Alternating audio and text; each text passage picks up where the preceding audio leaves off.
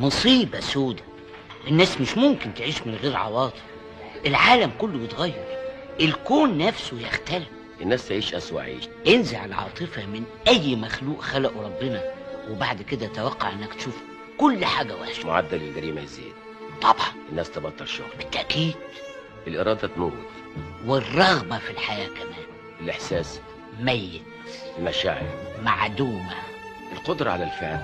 مفيش. الغريزة.